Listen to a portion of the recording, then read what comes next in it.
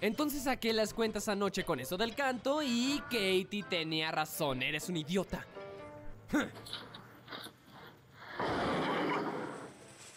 Lo hice a propósito. Chicos, no quiero ir a Los Ángeles con ese cretino. Quiero estar con mis cretinos y jugar hockey para nuestro equipo. Pero esto es como el hockey. Solo que en vez de aplastar los tableros y correr hacia la red vas a cantar y a bailar. ¿Qué tienes que perder? Amigo California. Las chicas, las playas, las estrellas. Las chicas. Sí, pero nada de eso importa si debo restar a mis mejores amigos. Saca esas cuentas, profesor. De acuerdo, llevo dos, sí, no. Aún eres un idiota. ¿Y tú qué?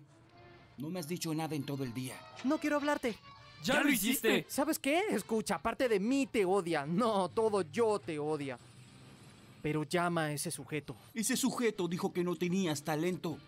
A ti te hizo llorar y rompió la taza de mi madre. Pero quiere hacerte famoso.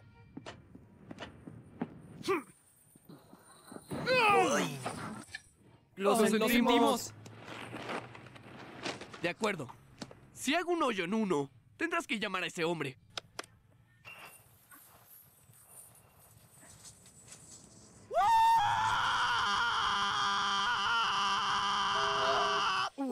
Uy, igual deberías llamarlo. Salió en la portada de Rolling Stone. ¿Qué otras cosas extrañas llevas guardadas en tu bolsillo? Mi peine de la suerte y fotos personalizadas de 8x10. Un chico bueno y un chico malo. ¿Eh? Solo queremos lo mejor para ti, amigo.